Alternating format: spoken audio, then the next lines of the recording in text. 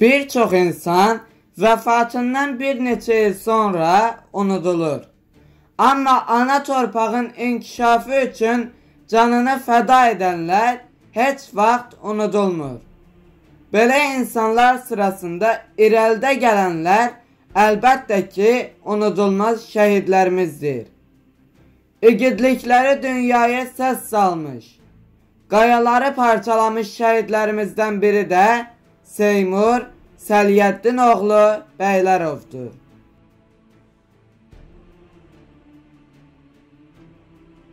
Seymur Səliyyəddin oğlu Bəylərov 24 iyun 1996-cı ildə Samux rayonu Qarayeri kəndində anadan olub.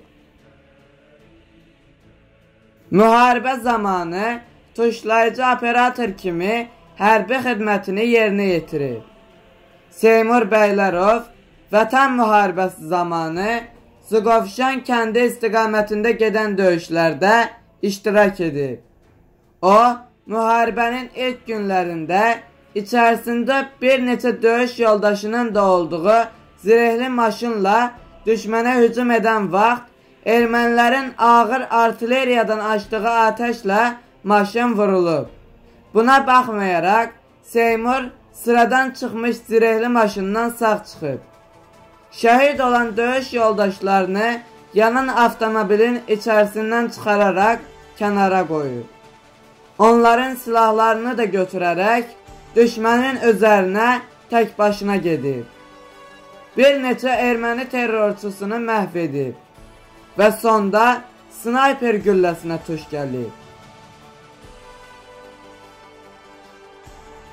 Teymur Səliyyəddin oğlu Bəylərov 28 sentyabr 2020-ci ildə Talış Suqovşan istiqamətində gedən döyüşlərdə şəhid olub. Prezident İlham Əliyevin müvafiq sərəncamları ilə Suqovşanın azad olunmasına görə və vətən uğrunda medalları ilə təltif edilib.